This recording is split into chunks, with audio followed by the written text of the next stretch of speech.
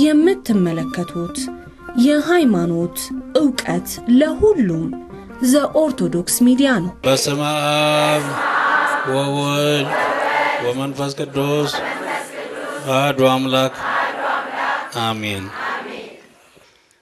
ክቡራን ሊቃውንትና ክቡራትና ክቡራን በዚች ዕለትና በዚች ሰዓት እግዚአብሔር አምላክ ስለፈቀደልን ዕለቷ የእረፍት ቀናችንን በሰላም እንድናከብር ለሰጠን ለአምላክ ምስጋና ይግባው።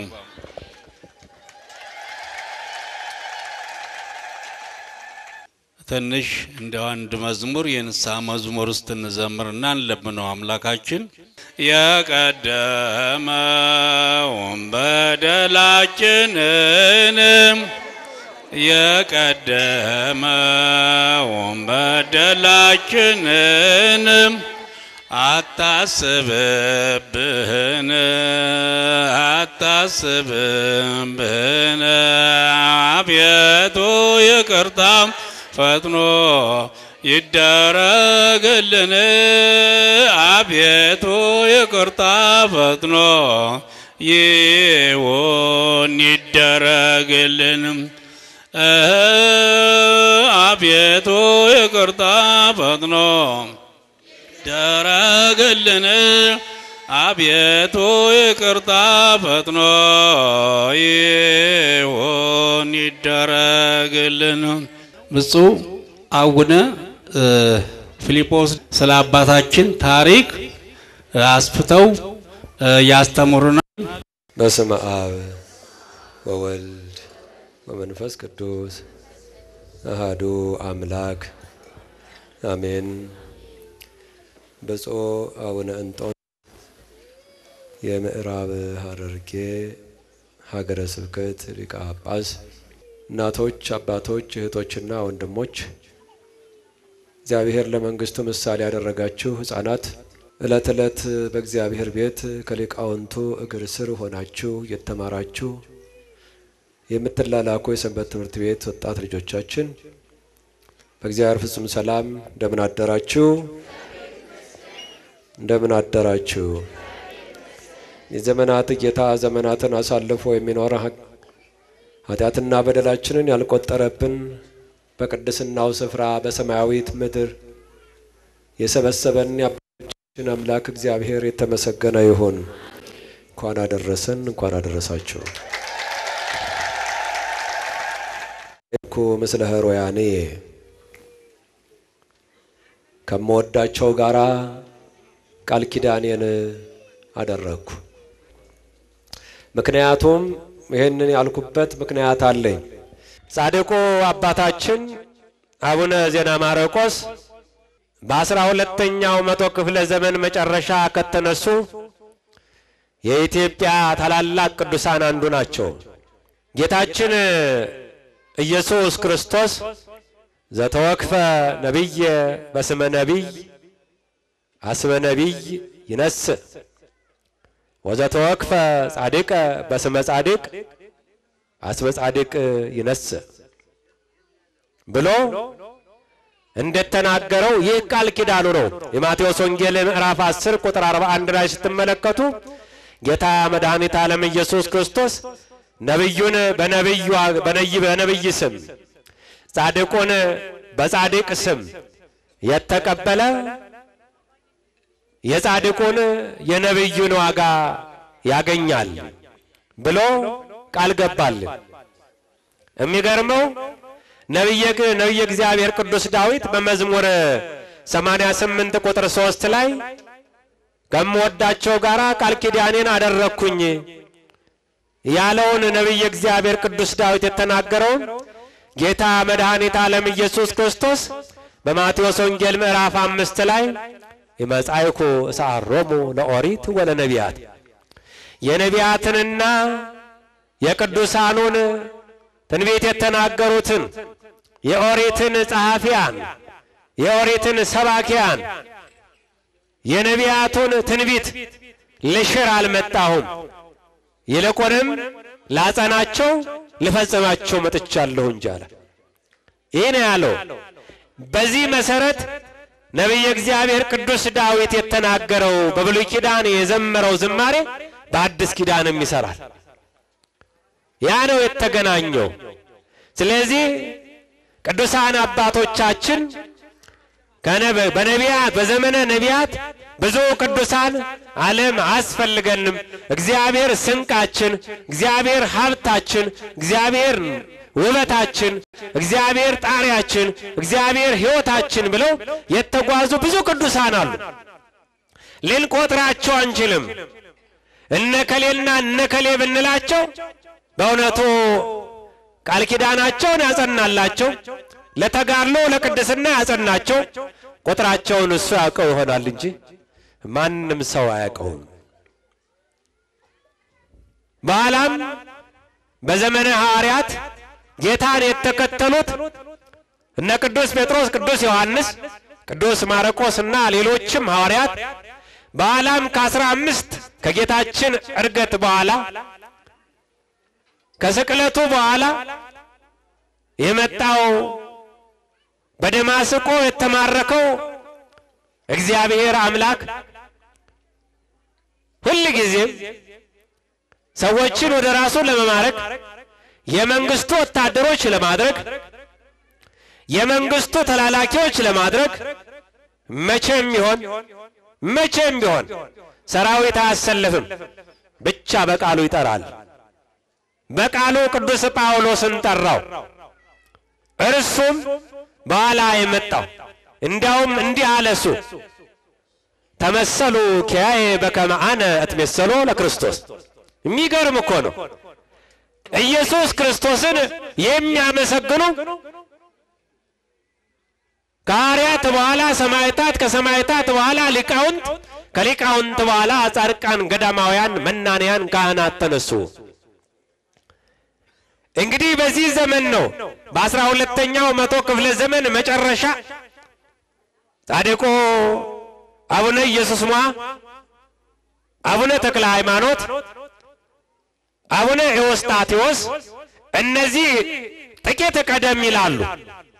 ነገር ግን ከነዚህ በኋላ የመጡት እጅግ ታሪካዊ የሆኑት በቅድስናቸው ለአርባ ቀናት ያህል ሰማይ ተከፍቶ በእግዚአብሔር መንበር ፊት እንደ ጻድቁ እንደ ወንድማቸው እንደ አቡነ ተክለ ሃይማኖት እግዚአብሔርን ያመሰገኑ ምድራዊ ሲሆኑ ሰማያዊ መላእክትን የመሰሉ ጻድቁ አባት አቡነ ዜና ማርቆስ በአስራ ሁለተኛው መቶ ክፍለ ዘመን ለእኛ አማላጅ ለእኛ ቃል ኪዳን ሊያተርፉ ለእኛ በረከት ሊሆኑ ለኢትዮጵያውያን አባት ሊሆኑ የጠፋውን ሊመልሱ ያመፀውን ሊያመጡ እኔና እናንተን ሊመክሩ በቃል ኪዳናቸው ሊባርኩን በአስራ ሁለተኛው መቶ ክፍለ ዘመን መጨረሻ ተወለዱ። እንኳን ደስ አላችሁ። እኚህ ታላቅ አባት እናታቸው ማርያም ዘመዳ ትባላለች። በሌላ ስሟ ድቦራም ትባላለች። አባታቸው ዮሐንስ ይባላል። ቀሲስ ዮሐንስ ነው። የቀሲስ ዮሐንስ ወንድሞች ቀሲስ እንድርያስ፣ ቀዲስ ቀሲስ ጸጋ ጸአብ ይባላሉ። እነዚህ ሦስቱ ወንድማማቾች በዞረሬ ጽላልሽ ነው የነበሩት። ሁሉም ሦስቱም ልጅ በማጣት ቅድም እንደ ሐናና እንደ ቅድስት ኢያቄም እንደ ቅዱስ ኢያቄም ልጅ አጡ። በሚገርም መልኩ ሦስቱም እኮ ናቸው ደግሞ ካህናት ናቸው። እስቲ አስቡት፣ ካህን ሆኖ እንዲያው ልጅ አጣው ብሎ መጨነቅ ያስፈራል፣ ይከብዳል። ገንዘብ ቢያጡ ተለምኖ ከሰው ተበድሮ ይገኛል። ጤና ቢታጣም ሮጥ ሮጥ ተብሎ የአቅምን ያክል ይፈልጋል። ልጅን አትበደሩት ወይ አትገዙት ወይ አትበደሩትም። ምን ይደረጋል? ያስጨንቃል እኮ ያስፈራል፣ ተስፋም ያስቆርጣል። በዓለም እየኖሩ በትዳር እየኖሩ ማጣት ከባድ ነው። በጉልበት አይመጣም፣ በገንዘብ አይገዛም፣ በዘመድ አዝማድ ብዛት በስልጣን አይገኝም። ልጅ የሚገኘው ከየት ብቻ ነው? ከማን ልጆቻችሁ የማን ስጦታዎች ናቸው? እሱ ነው። አሁን የእግዚአብሔር ስጦታዎች የሆኑ ልጆቻችሁ የእግዚአብሔር ስጦታ ሳይሆኑ እያደጉ ዛሬ ኢትዮጵያ ኢትዮጵያ መሆን አቃታት። ዛሬ አብረን ማልቀስ አልቻልንም። ሁላችንም በየደጃችን ለየብቻችን ማልቀስ ጀመርን። አስከሬን ቆጠራ ላይ ዋልን። ከባዱ ዘመን አሁን ነው። የፈተናው ዘመን አሁን ነው። የጭንቀቱ ዘመን አሁን ነው። እግዚአብሔር ይህን የመከራ ዘመን ያስወግድልን። እነዚህ ሦስት ወንድማማቾች ቀሲስ እንድርያስ፣ ቀሲስ ጸጋ ጻብ፣ ቀሲስ ዮሐንስ ልጅ በማጣት ቤተሰቦቻቸውን ዘመዶቻቸውን ልጆች አጣን እያሉ ልጆች ውለዱ እያሉ ብዙዎቻችን እናቶች ትልልቆቹ ልጆቻችሁን ስትድሩ የመጀመሪያ ህልማችሁ ምንድን ነው? የልጅ ልጆቻችሁን ማየት አይደለ? እንደዚያ ነው የሆኑት። ባልና ሚስቱ እየተጨነቁ እግዚአብሔር ሆይ ጎዶላችንን ሙላው፣ ሀብት አላጣንም፣ በረከት ሰጥተህናል፣ ካህናቶች ነን፣ እንዲሁ ቤታችንን በሀብት በበረከት አሞልተዋል። ግን አንድ ነገር ይገሉላል። ለአብርሃም በስተርጅናው የሰጠው በኋላም ለቅዱስ ኢያቄምና ለቅድስት ሐና የሰጣቸው በስተርግና በስተርጅና ስትረገም ስትሰደብ በቅሎ እየተባለች ስትጠራ የነበረችውም ሐና እመ ሳሙኤልን የጎበኛት በዘጠና ዘጠኝ ዓመቱ በዘጠና ስምንት ዓመቷ ዘካርያስንና ኤልሳቤጥን የተመለከትክ አምላክ ሆይ እኛንም ተመልከተን አሉ። እነዚህ ሦስቱ ካህናት እንዲህ በጸለዩበት ሰዓት ቀሲስ ጸጋ ጻብ ታላቁን የኢትዮጵያ አዲስ ሐዋርያ የተባለውን ጻድቁን አቡነ ተክለ ሃይማኖትን ቀድሞ ስሙ ጸጋ ጻብን እግዚአብሔር ሰጣቸው።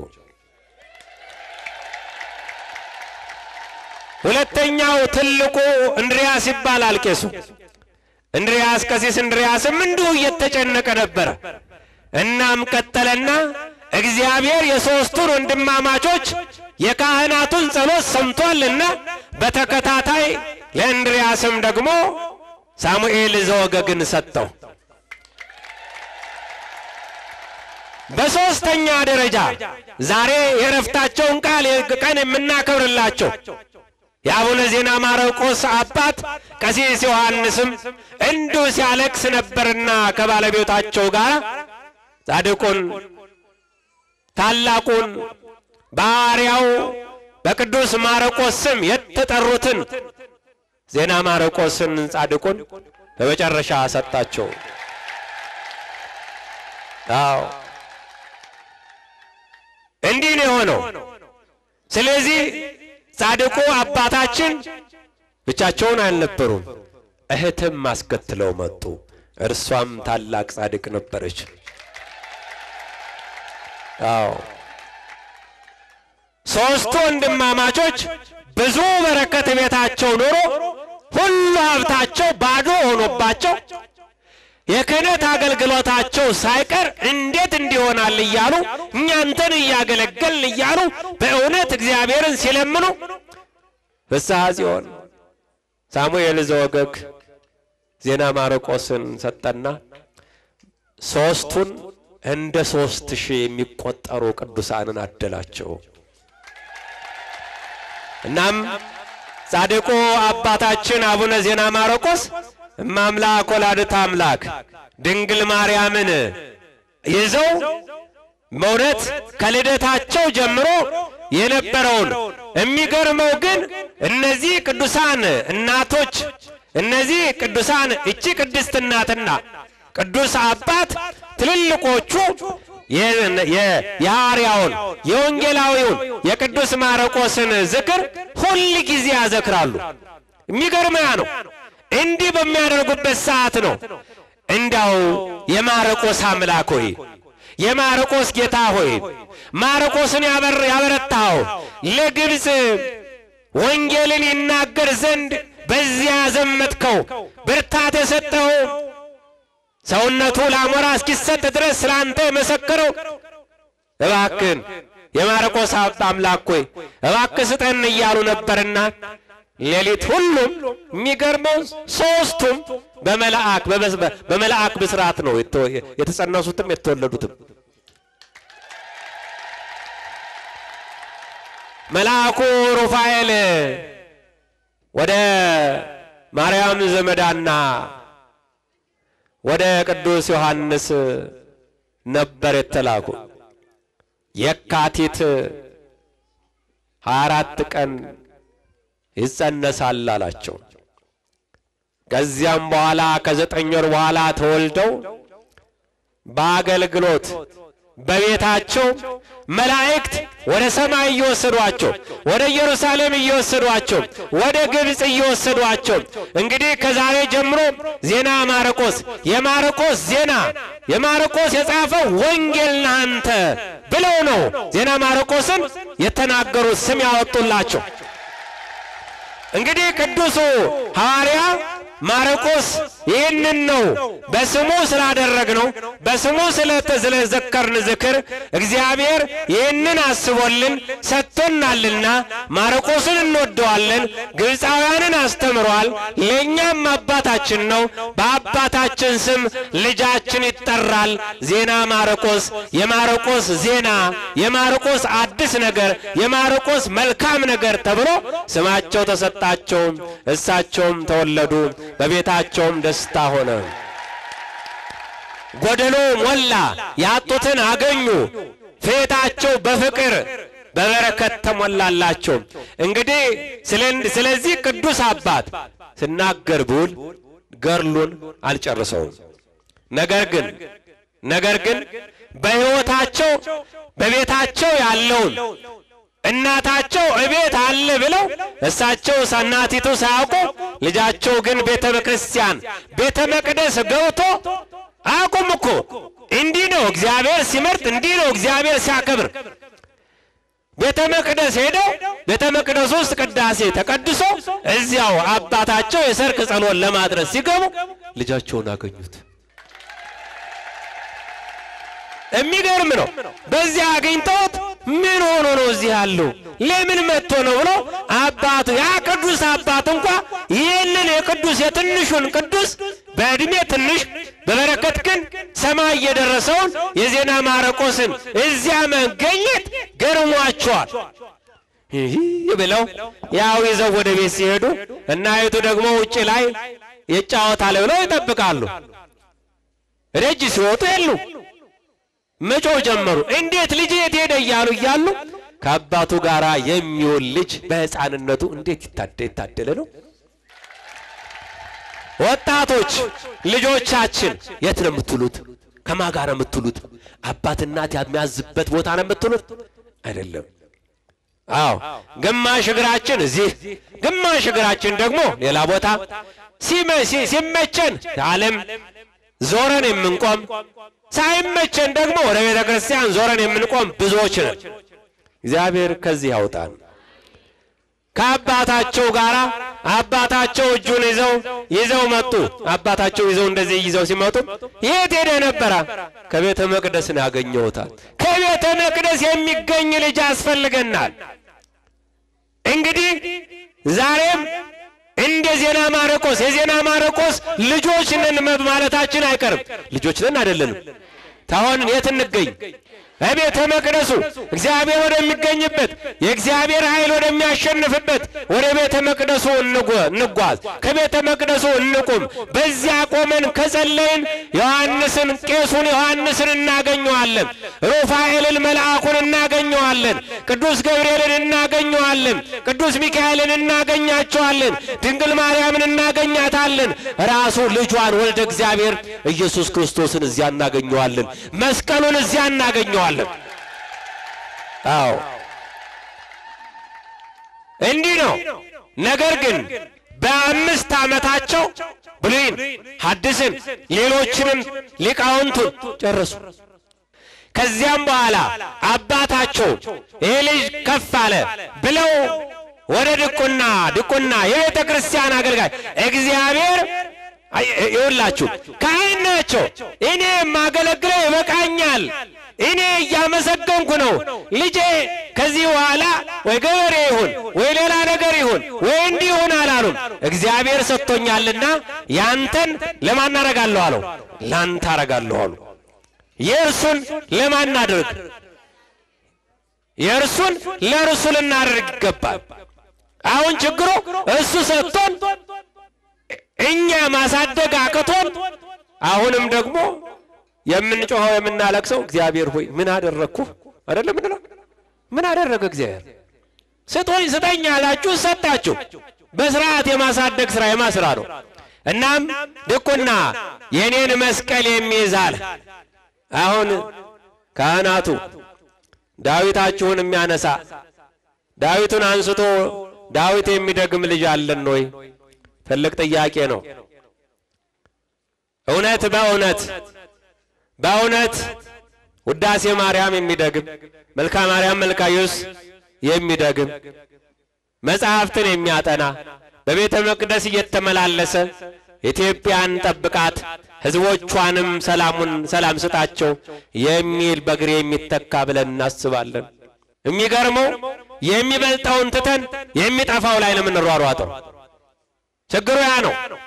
እናም በእኔ ፋንታ የሚተካ እሱ ነው ብለው ቄሱ አባታቸው ቅዱሱ ዮሐንስ ልጃቸውን ይዞ ጉዞ ቀጠሉ። ድቁና ለማሰጠት ጳጳሱ ጌሮሎስ ይባላሉ። ግብፃዊ ናቸው። ወደዚያ ይዘው ሄዱ ሄዱ ድቁና ተቀበሉ።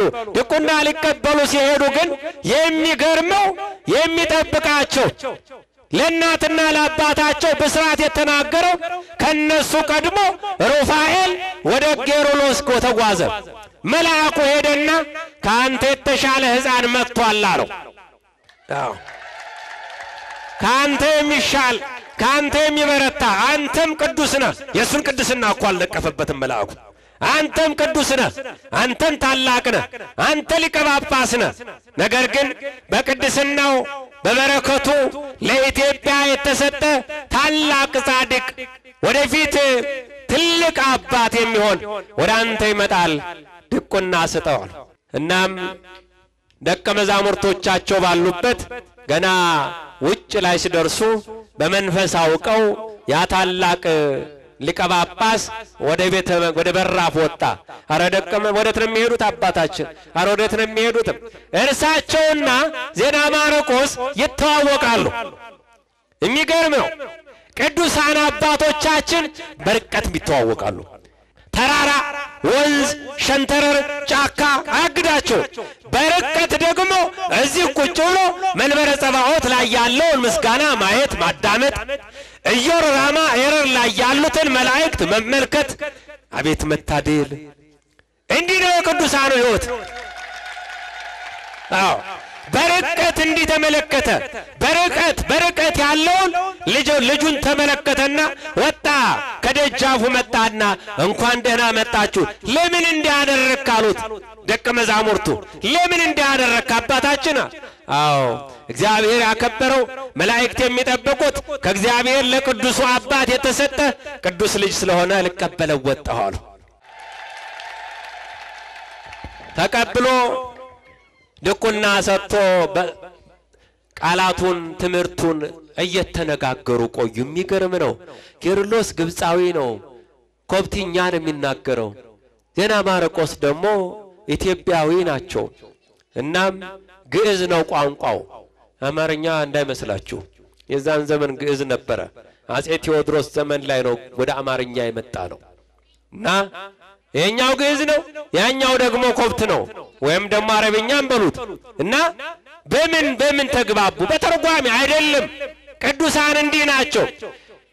የጌርሎስ ቋንቋ ለዜና ማርቆስ፣ የዜና ማርቆስ ቋንቋ ለጌርሎስ መሰማት ጀመረ። በዚህ ቋንቋ እየተነጋገሩ ቆዩ።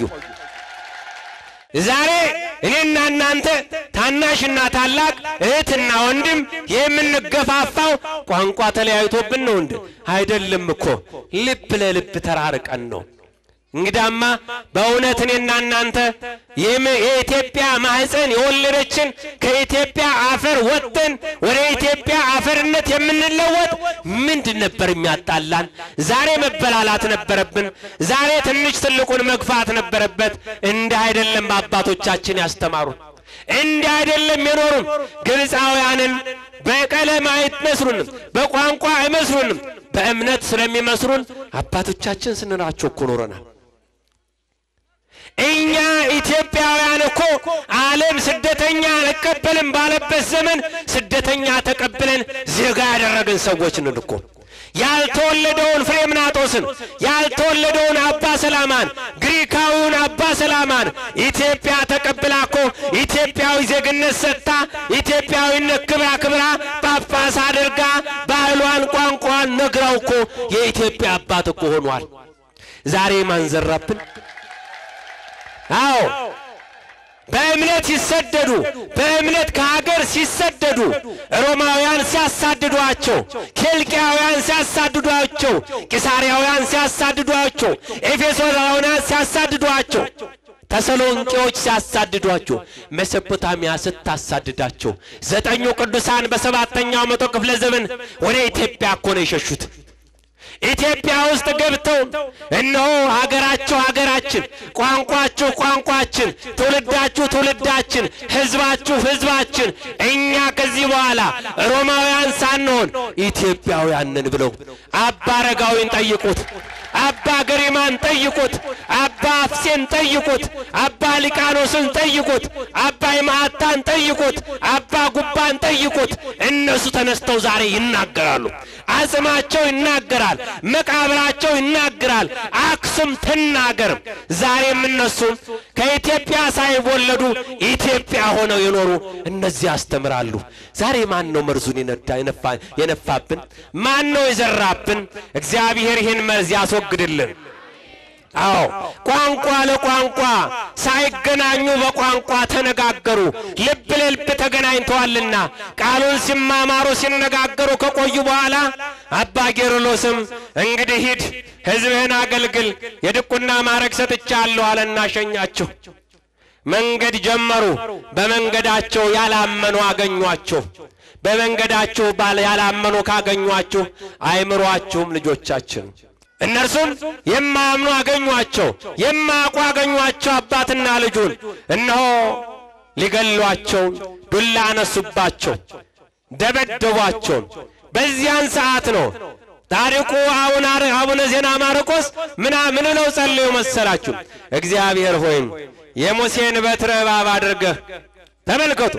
የሙሴን በትር እባብ አድርገህ የፈርዖንን አመፀኞችና ኢያኔስና ኢያንበሬስ ጠንቋዮቹን እንዳሳፈርክ ዛሬም በዚህ ያሉትን በጥንቆላ የሚያምኑትን በባዕድ አምልኮ የሚያምኑትን እባክህን አሳፍራቸው አሉ። ወዲያውኑ የአባታቸውና የእሳቸው ዱላ እባብ ሆነና እነዚያን የሚያጠፏቸው ሊገሏቸው የመጡትን መከላከል ጀመረ እባቡ። ዛሬ ላይ እኔና እናንተ ምናልባትም ተኝተን እያደርን ነው፣ እያንቀላፋን ነው። ነገር ግን እኮ የማይተዩ የማንቀላፉ ቅዱሳን ስላሉን ነው። አቡነ ተክለ ሃይማኖት ሐዲስ ሐዋርያ ደብረ ሊባኖስ ላይ በአንድ ቀን አርባ አንድ ጊዜ ዳዊት ይዘለቃል። አሁን አርባ አንድ ጊዜ ይህንን አይተን ይሆን? ይህን ሰምተን ይሆን?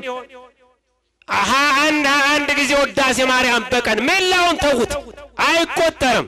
ይህንን እያደረጉ አባቶቻችን ዛሬም በኢትዮጵያ ቅዱሳን ጸሎት፣ በዜና ማርቆስ ጸሎት፣ በተክለ ሃይማኖት ጸሎት ኢትዮጵያ ትጠበቃለች። አሁን አዎ። እናም ወደ አገራቸው ወደ ቦታቸው ወደ ዘሮሬ ጸላልሽ መጡ። በዚህም መጡ፣ እዚህ እያገለገሉ ቆዩ። ከዚያም ምነናን ተቀላቀሉ።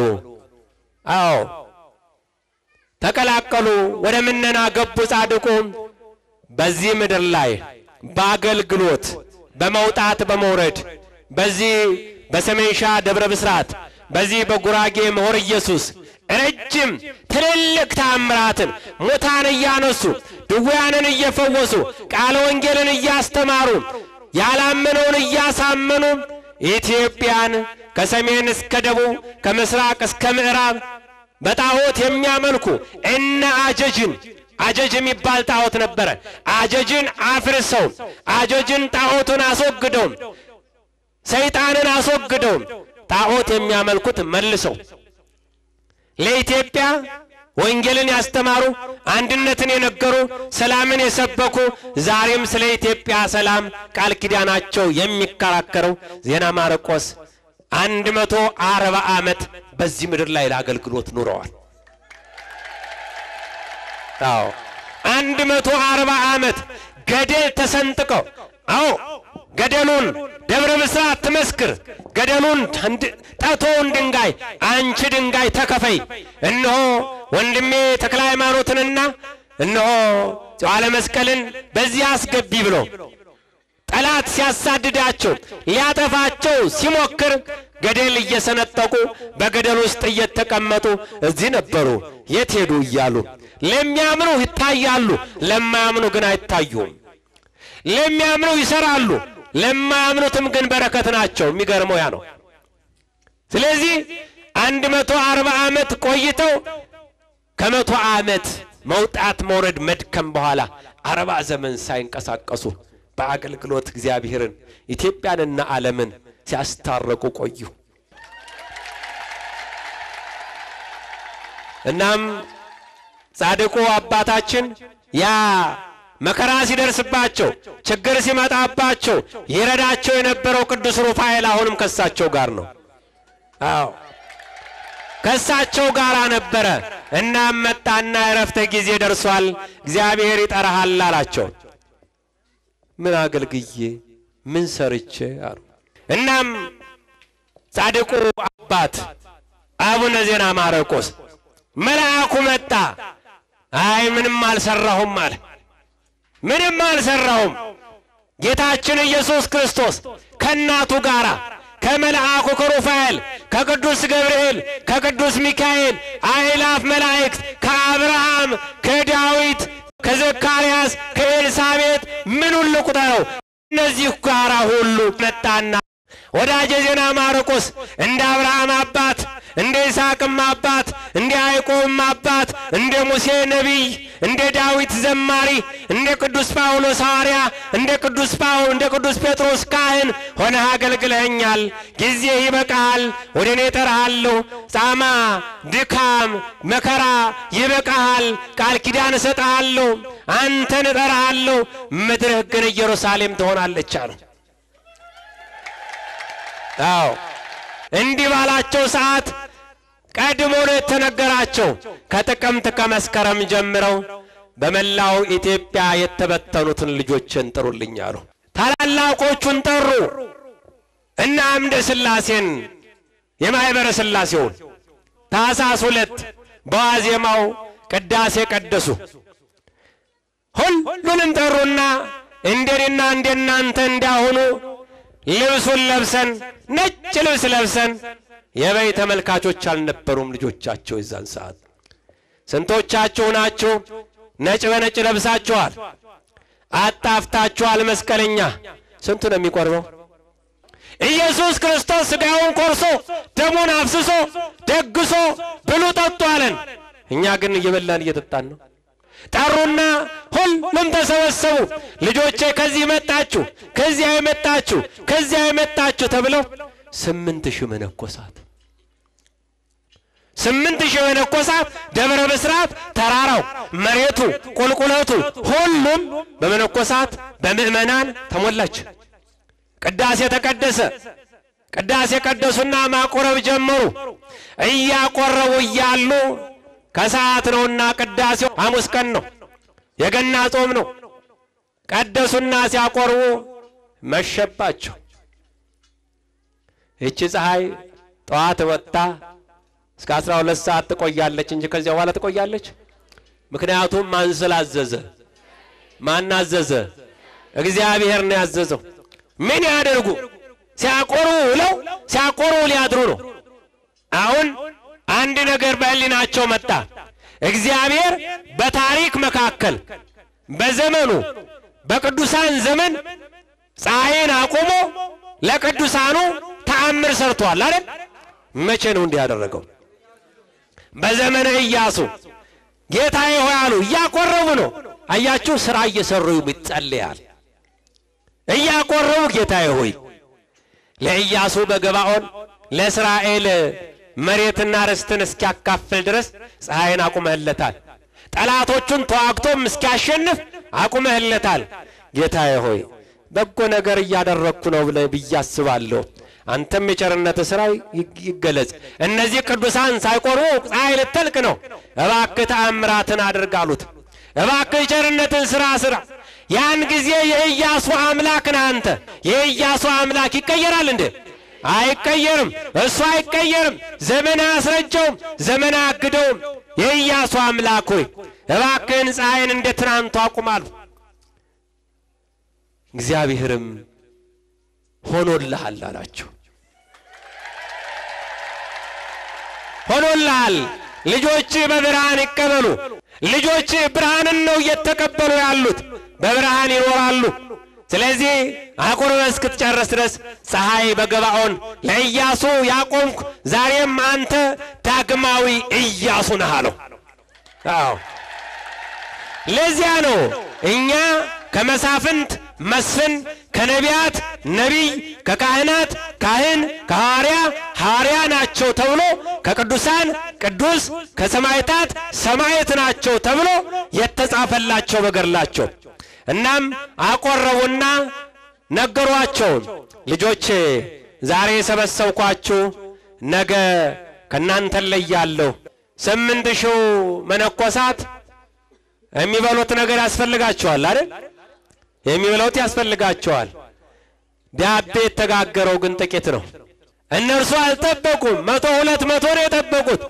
ግን ስንት ነው እንግዳው? ስምንት ሺህ እናም መጋቢው መጣና አባቴ አረ ጉር ልንሆን ነው። የአንተ ልጆች እልፍ አእላፋት ናቸው። የአንተ ልጆች ተቆጥረው አያልቁም። ዳቤው ግን ይህን ያክል ነው አሉ። ያለውን አቅርብላቸው አሉ ጻድቁ። ያለውን አቀረበ። ስምንት ሺው መነኮሳት ተመግበው ከመቶ ከሁለት መቶ የማይበልጥ ዳቤ ስምንት ሺውን አጠግቦ ስምንት ቅርጫት ተነሳ። የሚያምንብኝ የሚመካብኝ የሚከተለኝ ካለ እኔ ያደረግኩትን ያደርጋሉ አለ። እርሱ ያደረገውን ጌታችን ኢየሱስ ክርስቶስ ከአምስት አሳና ከሁለት ከሁለት እንጀራ ስንት መሶብ ነው ያስነሳው? አምስት ሺህ ሕዝብ ተመዝግቦ ተመግቦ አስራ ሁለት አስነስቶ አቡነ ዜና ማርቆስ ማንን መሰሉ? ተመሰሉ ኪያዬ በከመ አነ እትሜሰሎ ለክርስቶስ አሉ። እኔ ክርስቶስን እንደምመስል እናንተም የምሰሉ ብሎ ሐዋርያው ቅዱስ ጳውሎስ እንዳለው ዜና ማርቆስ በግብርም በሃይማኖትም በአገልግሎትም በምስጋናም ኢየሱስ ክርስቶስን መሰሉት። ምግብ አበዙ፣ ሙት አነሱ፣ ድውይ ፈወሱ። በዚህ አይነት መልኩ ኢየሱስ ክርስቶስን መሰሉት። አዎ ስለዚህ ከመላእክቱ ጋር መጥቶ ጻድቁን አባታችንን እንደ ሰማዕታት ሰማዕት ሆናል፣ ደምህን አፍስሰሃል፣ እንደ ቅዱሳን መንንሃል፣ ቤቴ ንብረቴ ሳትል ቤተሰቦችን ትተህ እኔን ተከትለሃል፣ መስቀሌን ተሸክመ እንደ ሐዋርያት ዞር አስተምረሃል፣ እንደ ሰማዕታትም መከራ ተቀብለሃል። ስምህን ቤተ ክርስቲያንን ያሰራ ዝክርን ያዘከረ ልጣን ጧፍ ያቀረበ እነሆ ከመሞቱ በፊት ንስሐ ሳይገባ እንዳይሞት አድርገዋለሁ አላቸው። አዎ ምድሬን የረገጠ ደብረ ብስራትን በዚህም ደግሞ መውረ ኢየሱስን እነዚህም ቦታዎች ላይ ሄዶ የረገጠ የደረሰ እስከ አስራ ሁለት ትውልድ ድረስ እምርልሃለሁ ይቅርም እልልሃለሁ አለ። ለዚያ ነው ዘተወክፈ ነቢየ በስመ ነቢይ አስመ ነቢይ ይነስ ወዘተወክፈ ጻድቀ በስመ ጻድቅ አስመ ጻድቅ ይነስ ተብሎ የተጻፈውን ኢየሱስ ክርስቶስ ያጠፈዋል እንዴ? ይተዋል እንዴ? አይተውም። ለጻድቁ ለአባታችን ለአቡነ ዜና ማርቆስ የገባው ቃል ኪዳን ሐዋርያት ለተነገረላቸው በወንጌል የተሰበከው ቃል ነውና እንኳን ደስ አላችሁ። አዎ እናም በእረፍታቸው ቀን እነዚያ ቅዱሳን መነኮሳት ሰማያውያን መላእክት ከላይ መጡ። ምድራውያን መላእክት የሚባሉት መነኮሳት ቅዱሳን ተሰበሰቡ። ምእመናን ከዋክብት መስለው ተሰበሰቡ። ዜና ማርቆስን አብዕዎ እያሉ ዘመሩላቸው፣ አመሰገኑ። በዚህ ሰዓት ነው በዋዜማው ፀሐይን ቆማ ከሰዓቷ አልፋ ያዩ ጳጳሳት ገብ ከግብፅ መጡ። የሚገርም ነው። ሊቀ ጳጳሱ አባ ዮሐንስ ይባላል። ከግብፅ ይህ ምንድን ነው ብሎ እግዚአብሔርን ሲጠይቅ መልአኩ ገለጸለት። ታላቁ የፀጉሩን እንኳን ሚዛን የማይመዘን ዓለም የማይመዝነው ታላቁ ዜና ማርቆስ ከመቶ አርባ ዓመት አገልግሎቱ በኋላ አርፎ እግዚአብሔር ሊያርፍ ነውና እርሱ ልጆቹን ቀድሶ ሊያቆርብ ሰዓት ሲያንሰው እግዚአብሔርን ጠይቆ እንደ ኢያሱ በገባዖን ፀሐይን እንዳቆም አቁምልኝ ብሎ አቁሞት ነው አለው መልአኩም። የዚህን ሰውዬማ በረከት ማግኘታል መላእክት፣ ጻድቃን፣ ሰማዕታት እነሆ ወደ ደብረ ብስራት ጎረፉ፣ ሊቃነ ጳጳሳት ሳይቀሩ። አዎ ስለዚህ ከቤተ መቅደሱ በውጭ ቆሞ ከዚህ ጻድቅ በረከት ባገኝ እኔም በረከቴ ነው ብሎ በጥግ በአጸዱ ቆሞ ይጸልያል። ጻድቁ አባቴ በረከቱ አይለኝ እያለ ሲጸልይ ጻድቁ አባታችን ያንን ቅዱስ አጽማቸውን ይዘው ቅዱስ አስከሬናቸውን ይዘው ሲሄዱ ልጆቻቸው ብድግ አሉ። የሞተው ጻድቅ ተነሳ። አዎ ብድግ አሉና ልጆቼ አንድ ነገር ልንገራችሁ፣ እናንተ የማታዩት እሱ የሚያይ እኔ የማየው እሱም የሚያስበኝ ከግብፅ ሊቀ ጳጳሱ መጥቷል፣ እጥግ ላይ ነው ያለው፣ በሚገባ አስተናግዱት አላቸው። የዚያን ሰዓት ጻድቁ ብድግ ብለው ባይናገሩ ኖሮ ሊቀ ጳጳሱ ማን ያስበዋል? ማን ያስታውሰዋል? እሱ ከግብፅ መጣ። ከግብፅ ድረስ መጥቶ ደብረ ብስራትን ከረገጠ እኔና እናንተ ከዚች ምን ያግደናል? አዎ ጻድቁን በረከት ለማግኘት ስማቸውን መጥራት፣ ገድላቸውን ማንበብ፣ ዝክራቸውን መዘከር፣ ቃል ኪዳኑ ለዘላለም ለዘላለም እስከ ምጽአት ድረስ የሚቆይ ነው። ዛሬ ያልፋል፣ ነገ ይጠፋል የማይባል ነው። ምክንያቱም የእግዚአብሔር ቃል ያልፋል እንዴ? አያልፍም። ሰማይና ምድር ያልፋል፣ ቃሌ ግን አያልፍም አለ። አይናችን ነሽ ማርያም አንቺን አይንኩብን፣ የተዋህዶ ልጆች እንወድሻለን። ቀደም ሲል ብፁዕ አቡነ ፊልጶስ የደቡብ ኦሞ ሀገረ ስብከት ሊቀ ጳጳስና የቅድስት ሥላሴ መንፈሳዊ ዩኒቨርሲቲ የበላይ ኃላፊ ያስተማሩት መጽሐፍ ቅዱሳዊ ትምህርት የተሰጠው በአዲስ አበባ ሀገረ ስብከት በቀጨኔ ምዕራፈ ቅዱሳን ሰገነት ቅድስት ኪዳነ ምሕረትና አቡነ ዜና ማርቆስ አንድነት ገዳም በተከናወነው የጻድቁ የአቡነ ዜና ማርቆስ የእረፍታቸው መታሰቢያ ክብረ በዓል ላይ ነው። ባሳለፍነው ታህሳስ 3 ከተከናወነው ክብረ በዓል ቀደም ብሎ ታህሳስ 2 2014 ዓ ም ሊቃውንተ ቤተ ክርስቲያን ዕለቱን የተመለከተ ምስጋና ያደረሱ ሲሆን ከዚሁ ጋር ተያይዞ ለአንድነት ገዳሙ የተሾሙት አዲስ አስተዳዳሪን የአቀባበል ሥነ ሥርዓት ተከናውኗል።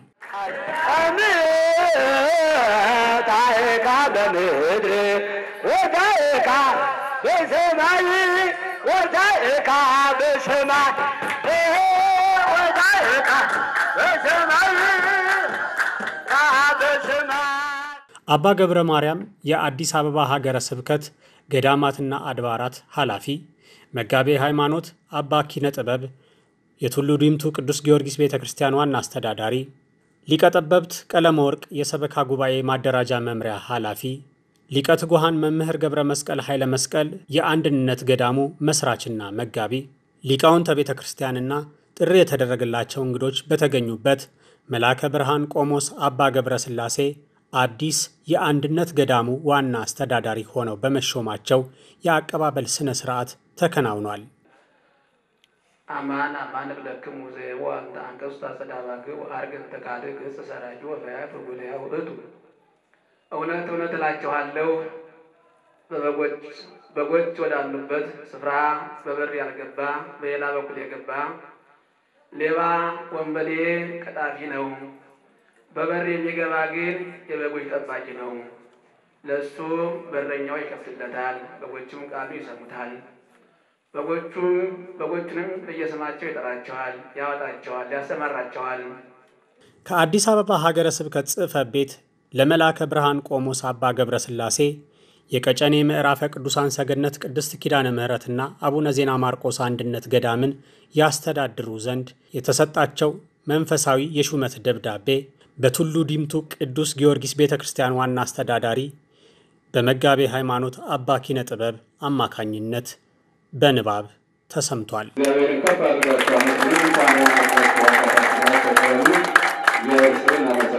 በቀጣይም ቅኔ መወድስ በመጋቤ ሐዲስ መምህር ዳንኤል አለባቸው የአንድነት ገዳሙ የስብከተ ወንጌል ኃላፊ እንዲሁም በገዳሙ ሊቀ ዲያቆን መጋቤ ምስጢር መምህር ጌራ ወርቅ የቅዳሴና የዝማሬ መዋሲት መምህር በሆኑት መምህር ሐረገወይን ጭምር ቀርቧል።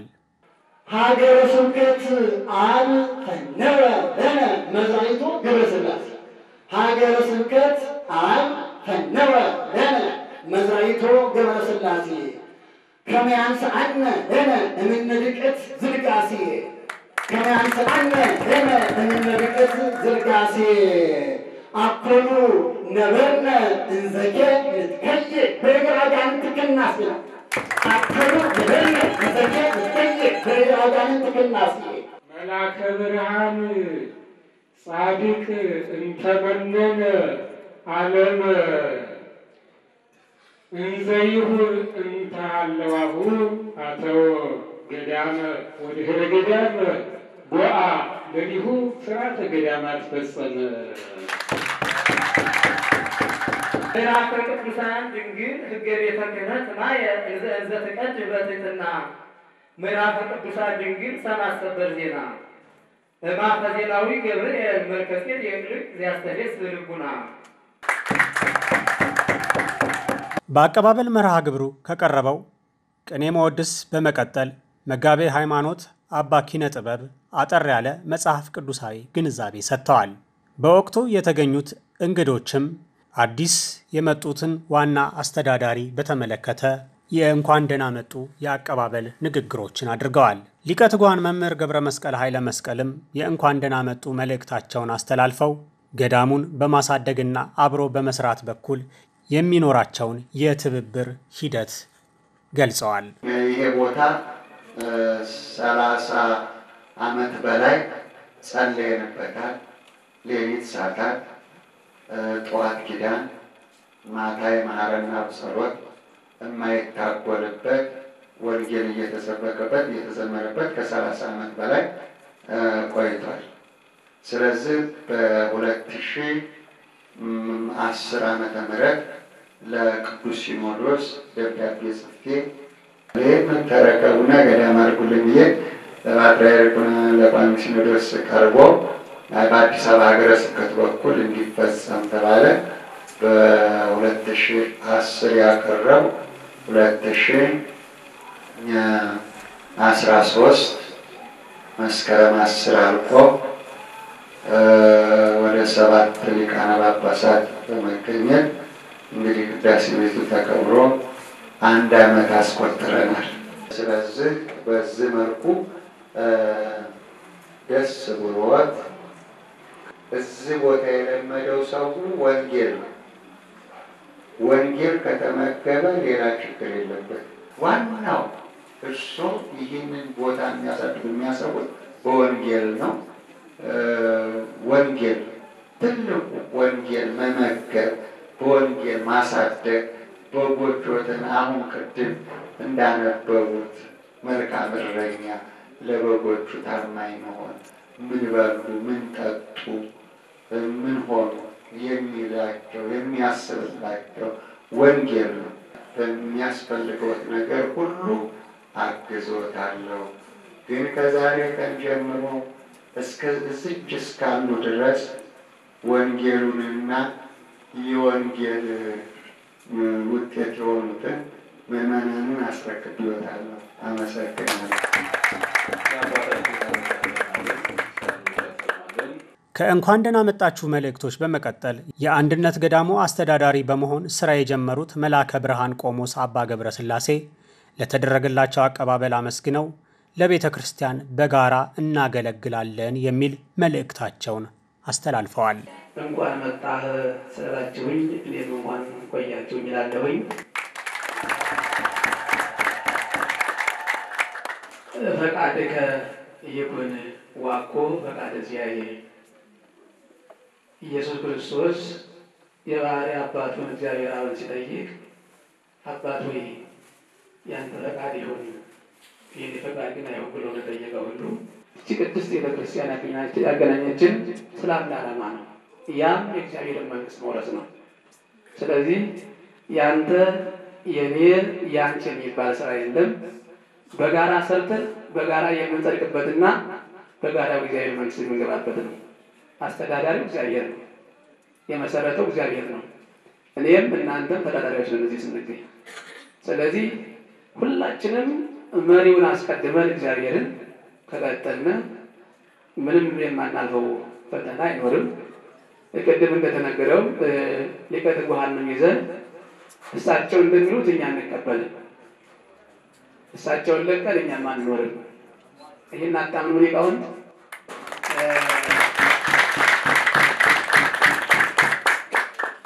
መሰረቱ ኢየሱስ ክርስቶስ ቢሆንም መስራች እሳቸው ናቸው። ከፊታችን እሳቸው ካልቀደሙ ነገሮች ሁሉ እንደማይከናወኑ እናምናለን። ስለዚህ ዘወርሁ ውስተ ቤትከ ይትሃለ ባይድ ቤተሰብህ እየተቸገረ እየተራበ እየተጠማ እየናፈቀ አልፈህ አትሂድ ይህን እንዳይረሱብን አደራ ልንፈልጌ ነው። በጋራ እናገለግላለን። ስንሰራ ግን እርሶትን አስቀድመው ነው አስቀድመን ነው ለማለት እፈልጋለሁኝ። ሰባት ሰፊ ቢሆን አገልግሎት ሰፊ ቢሆን የሆነ ሁን መነሻን አትረሳም ነው ያለ እንዳይረሱ አብረን ነው የምናገለግል። እንዲሁ አብረን እየተማከን እየተስማማነ በጋራ እያገለገልን እንቀጥላለን። ሁሉንም እግዚአብሔር ፈቅዶልን በጋራ እንቀጥል። አምላካችን ይርዳን። አመሰግናለሁኝ። ታህሳስ 2 2014 ዓ ም በቀጨኔ ምዕራፈ ቅዱሳን ሰገነት ቅድስት ኪዳነ ምሕረትና አቡነ ዜና ማርቆስ አንድነት ገዳም የተከናወነው የገዳሙ አዲስ ዋና አስተዳዳሪ አቀባበል ስነ ስርዓትን ተከትሎ በገዳሙ ጸሎተ ምህላ እስከ ምሽት ከምሽትም እስከ ሌሊት ሙሉ በሊቃውንተ ቤተ ክርስቲያን ማህሌት ተቆሞ በምስጋና የታደረ ሲሆን ታህሳስ 3 2014 ዓ ም ማለዳ ላይ ከሥርዓተ ቅዳሴ ተከትሎ የተከናወነው የጻድቁ የአቡነ ዜና ማርቆስና የእመቤታችን የቅድስት ድንግል ማርያም ወደ ቤተ መቅደስ የገባችበት የበዓታ ለማርያም መታሰቢያ የንግስ ክብረ በዓል ተከናውኗል።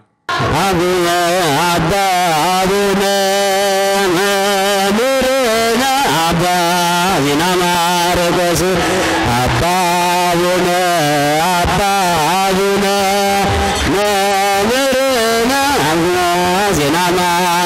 በክብረ በዓሉ ብፁዕ አቡነ እንጦንስ የምዕራብ ሐረርጌ ሀገረ ስብከት ሊቀ ጳጳስና ብፁዕ አቡነ ፊልጶስ የደቡብ ኦሞ ሀገረ ስብከት ሊቀ ጳጳስ የቅድስት ሥላሴ መንፈሳዊ ዩኒቨርሲቲ የበላይ ኃላፊ፣ የአድባራትና ገዳማት አስተዳዳሪዎች፣ ጥሪ የተደረገላቸው እንግዶች፣ በርካታ የበረከቱ ተሳታፊ ምዕመናን ተገኝተው ነበር። ታቦተ ሕጉ ከመንበሩ ተነስቶ ወደ አውደ ምሕረት ካመራ በኋላ ሊቃውንተ ቤተ ክርስቲያን ለክብረ በዓሉ የሚሆነውን ያሬዳዊ ዜማ አቅርበዋል።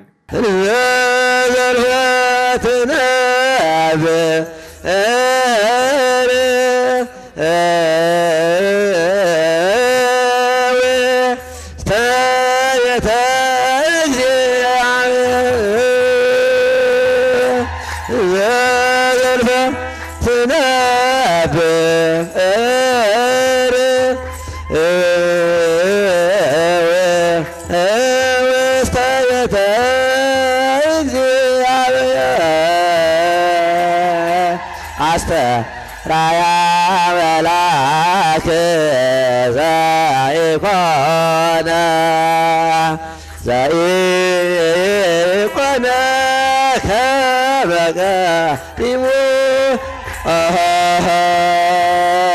አስተራያ ራያ በላክ ዘይኮነ ዘይኮነ ከበቀ ከሊቃውንቱ ያሬዳዊ ዜማ ተከትሎ የአንድነት ገዳሙ አንቀጸ ብርሃን ሰንበት ትምህርት ቤት መዘምራን ያሬዳዊ ዜማ አቅርበዋል። ኢየሩሳሌም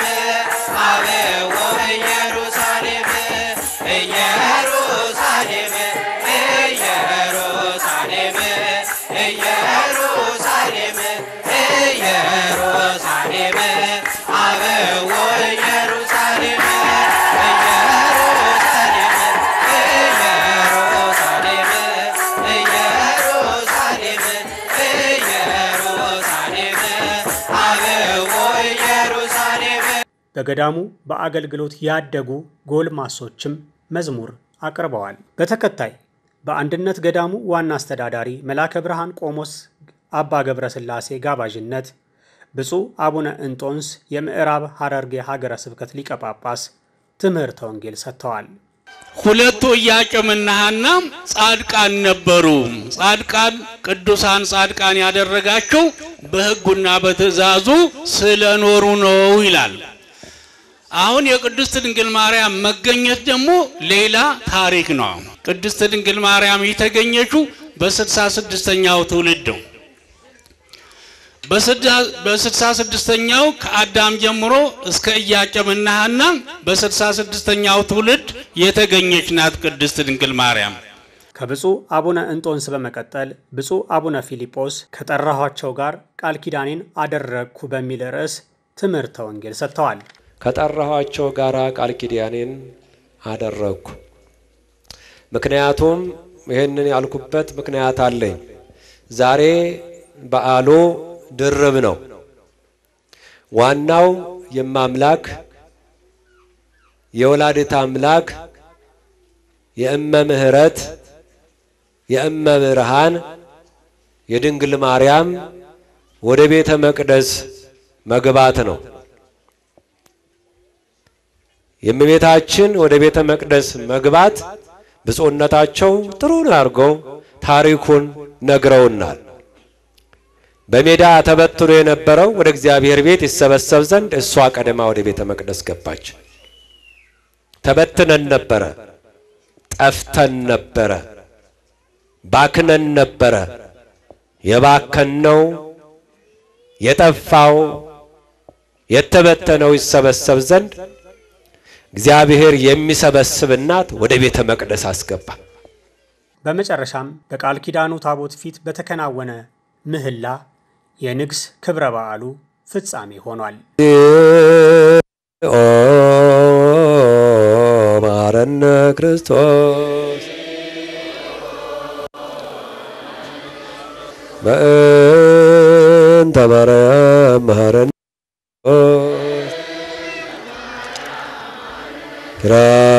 ኪርያላይሶን አምላክ ያድነነ መዓቱ ይሰውረነ በምሕረቱ በእንተ ማርያም ወላ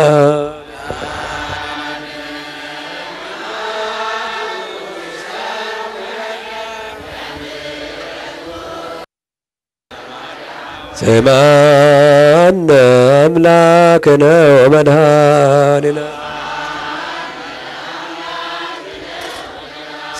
እግዚኦ ማረነ